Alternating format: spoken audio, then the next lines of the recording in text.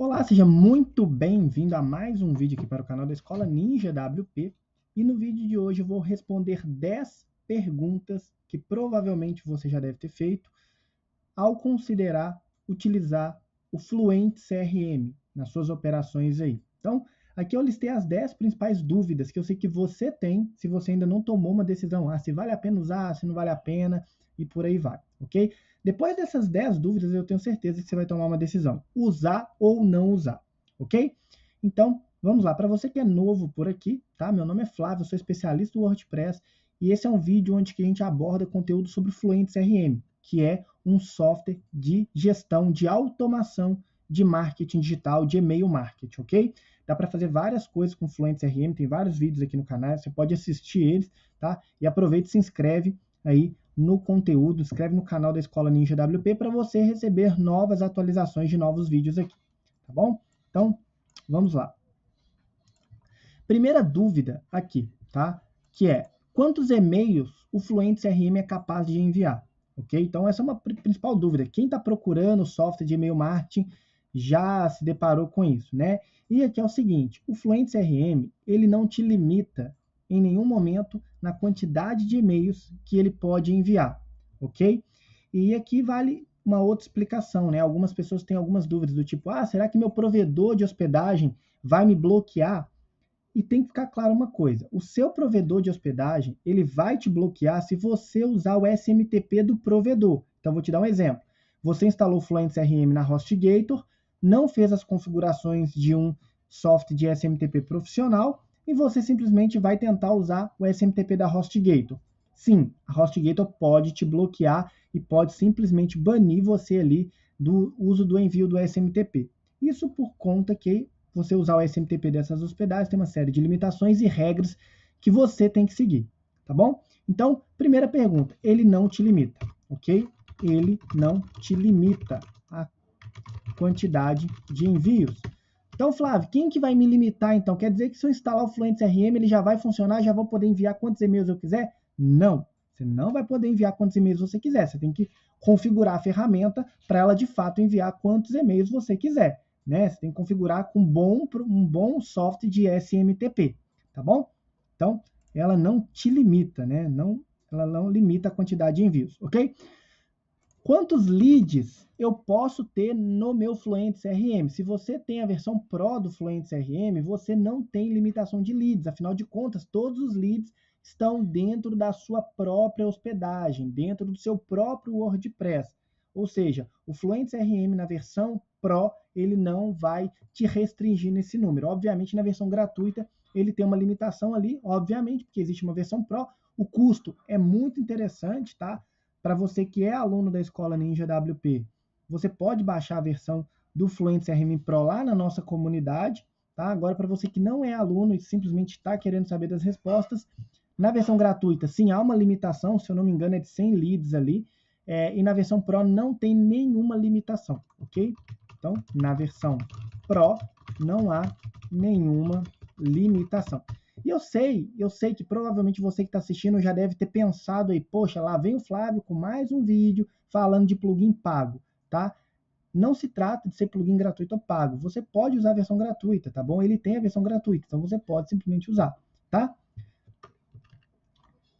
Posso fazer funil de vendas, tá? Sim, você pode fazer funil de vendas, sim, tá? Para você que não sabe o que é funil de vendas, são basicamente aquela estratégia na qual você entrega algo para o seu lead, uma recompensa, e a partir daquele momento você começa a se relacionar com ele até um dado momento que você oferece um produto ou um serviço para ele adquirir. Sim, o Fluent CRM você consegue fazer todo, todo o processo de funil de vendas de uma maneira muito simples e muito fácil, tá bom? Quarta pergunta: posso fazer funil de lançamentos? Então, para você que trabalha com lançamentos de infoprodutos, né, tá procurando uma solução aí interessante para trabalhar com esse tipo de serviço, sim, você pode fazer funil de lançamentos, tá? É um pouco diferente de funil de vendas, porque funil de vendas tende você a dar uma recompensa e o funil de lançamentos não necessariamente você entrega uma recompensa, mas a pessoa entra numa sequência de e-mails previamente programados e vai recebendo aqueles e-mails com as devidamente com, feito com uma boa copy, tá? E você consegue fazer tudo isso de uma maneira muito fácil e a ferramenta entrega muito bem os e-mails, tá? Consigo consigo monitorar, né? Cliques e conversões? Sim, todo e-mail enviado próprio, aqui no caso sim, tá? Consigo monitorar cliques e conversões? Sim, você consegue monitorar todos os cliques e conversões que a ferramenta faz. E aí, se você utiliza o WooCommerce, por exemplo, né, a ferramenta, além de monitorar os cliques, monitorar os cliques de pessoas que descadastraram, ela também vai monitorar as pessoas que clicaram e compraram, e ela vai te dar um relatório. Você enviou esse e-mail e você faturou tanto. Ela vai te dizer explicitamente, tá? Você ganhou 10 mil reais com esse e-mail que você enviou, tá? Não tem necessidade de nenhuma configuração especial por trás. Ela já faz isso nativamente. Basta você ter o Fluent CRM mais o e-commerce instalado, ok? Sim, inclusive, ela monitora as compras feitas dentro do e-commerce, ok? Então, próxima pergunta. Consigo integrar com Elementor? Sim, na versão Pro, ok? Na versão Pro você tem toda a integração com Elementor à sua disposição, tá? Consigo fazer estratégias avançadas de e-mails Bom, essa pergunta é um pouco tanto complexa, né? Fazer estratégias avançadas. O que, que você chama de avançado, tá? Se você está dizendo que avançado é, por exemplo, mandar um e-mail para uma pessoa que comprou um determinado produto, sim, você consegue fazer isso. Tá? Então a pessoa comprou, sei lá, um sapato mocassim e você quer ativar uma sequência de e-mails para aquela pessoa que comprou um sapato mocassim preto no tamanho 37, você consegue ativar toda uma sequência de e-mails quando ela comprar aquele produto. Você quer mandar um e-mail para quando a pessoa se matricular num curso específico? Você quer mandar um e-mail de boas-vindas, fazer um onboarding, mandar uma sequência de e-mails adicionais ali para ela ter uma boa experiência naquele treinamento? Sim, você consegue fazer isso de uma forma muito simples, né? Você quer criar uma lista somente de pessoas que compraram uma assinatura na sua plataforma premium, por exemplo? Sim, você consegue fazer tudo isso de uma forma muito fácil. De duas formas. Se você utiliza o Pad Membership Pro, você consegue fazer isso. E se você não utiliza o Pad Membership Pro, utiliza um outro plugin de membros, tá? Que ele não tem integração nativa, você pode fazer isso pelo produto. Por exemplo, vamos supor que a pessoa comprou o produto ali do e-commerce que se chama assinatura premium. Você fala para a ferramenta, quem comprar assinatura premium, migra ele para a lista de membros premium. Então a ferramenta vai fazer isso para você, ok? Então, sim, agora vamos imaginar que você queira, por exemplo, não sei, talvez é, você queira cruzar dados, fazer coisas que dependem de plataforma de terceiro, quarto, quinto, é, checar se a pessoa tem um pixel do Facebook, enfim, coisas extremamente intangíveis, né? Aí não é nem que a ferramenta não, não, que não é nem que eu vou dizer que ela não faça, tá? Tem que entender bem qual é a sua demanda tá? Para ver como ela vai te atender. Por que, que eu estou dizendo isso? Porque o Fluent CRM tem integração com API, ela tem integração com ferramentas externas via webhook, então tem muita coisa, tá? Na ferramenta. 9. Preciso ser um especialista para operar o Fluent CRM? Né? Então aqui vem, fica aquela pergunta, né? Isso, isso vem principalmente de usuários do Maltic, né? Não que você tem que ser um especialista em Maltic, tá? Mas o Maltic ele trouxe essa robustez toda e acaba que usuários leigos né, não, não vão para o Mautic até pela robustez toda da plataforma. E de fato o Mautic é muito robusto e há plataformas no mercado, tá? Como o MailChimp é hoje, que você, sinceramente, tem que fazer uma faculdade, uma pós-graduação, até mesmo um doutorado para operar, tá? Então não, o Fluent CRM é extremamente simples, qualquer pessoa com qualquer nível de conhecimento, seja uma pessoa que está começando do zero, consegue operar, porque ele tem uma interface muito simples, os passos para você enviar um e-mail é muito simples, o passo para você criar uma campanha é muito simples, o passo para você criar uma lista é muito simples, o passo para você criar uma automação é muito simples, tudo é muito simples. Você não tem que fazer uma faculdade, um PhD ou até mesmo, né, aquela pergunta clássica. Tá, tudo bem, Flávio, eu vou eu vou usar ele no meu WordPress e se eu precisar de um suporte, com quem que eu converso, né? Então, tem muita gente que é muito dependente do suporte de plataforma, né? Qualquer coisinha já tá lá no suporte. Então, assim, a plataforma é muito intuitiva, você vai ver que é muito fácil de usar. Então, é logicamente, se você já está habituado a pedir suporte toda hora, pode ser que você sinta aquela coisa. Afinal de contas, ele vai estar instalado na sua, no seu WordPress, não tem nenhuma empresa ali por trás, tá? Não tem ninguém ali, entre aspas, para você pedir suporte, né? Um chat que você conversa com o atendente e, e já fale com ele, afinal de contas, tem o suporte da empresa, né? Mas o suporte da empresa é mais para dúvidas muito técnicas que eles têm.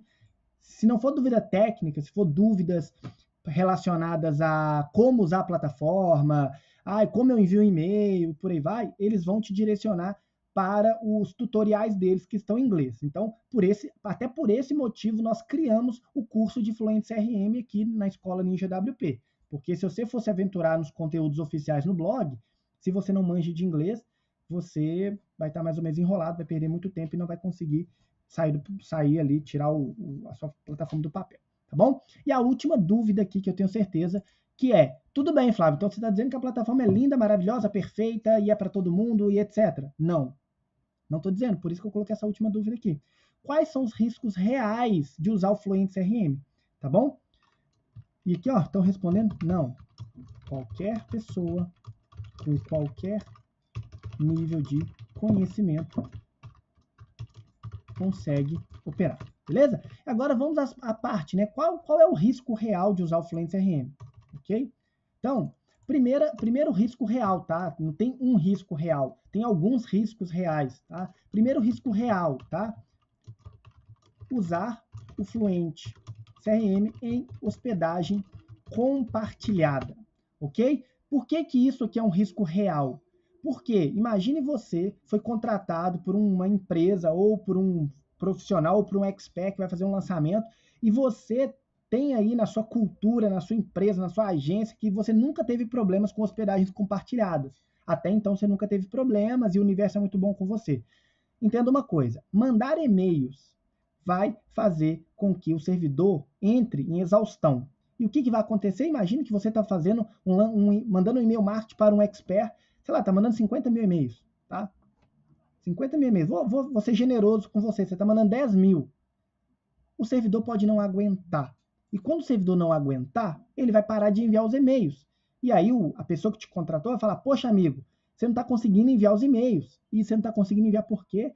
Porque você está usando em hospedagem compartilhada. Então, isso é um risco real, tá? Ele vai travar. Usar o Fluent RM em hospedagem compartilhada fará com que ele trave.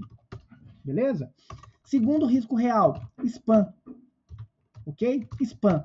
Só que, ao contrário de usar o meio chimp da vida, usar essas plataformas da vida, né? Você, ao fazer spam no seu servidor de hospedagem, fará de você perder a sua conta, perder a sua conta de SMTP, ok? Seja Amazon, seja meio é, SendGrid, Send, SendBlue, não importa tá? Isso vai fazer você perder. Então, se você tá com aquela mentalidade que vai comprar uma lista no Mercado Livre e vai fazer um milhão de reais com um disparo, porque você comprou uma lista com um monte de gente bacana, médicos ali, desculpa te decepcionar. Você vai frustrar e você não vai fazer nenhum real, tá? Não vai fazer nenhum real. Por quê?